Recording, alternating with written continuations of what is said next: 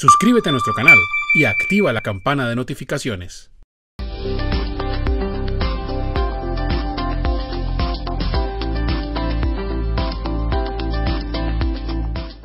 Se debe emitir factura electrónica cuando una persona natural responsable del IVA presta el servicio de alquiler de una máquina descavadora. Si están diciendo que es responsable del IVA, todo responsable del IVA tiene que facturar la totalidad de sus ventas de bienes o prestación de servicios, porque se lo dice el artículo 615. Las facturas de venta se hacen cuando se venden bienes o se prestan servicios. Y el artículo 16142 dice que todo el que es responsable del IVA, que sí está generando IVA, pues obligatoriamente tiene que hacer su facturación en todas las operaciones y en este caso ya es una operación con factura electrónica, tiene que hacer la factura electrónica, ¿listo?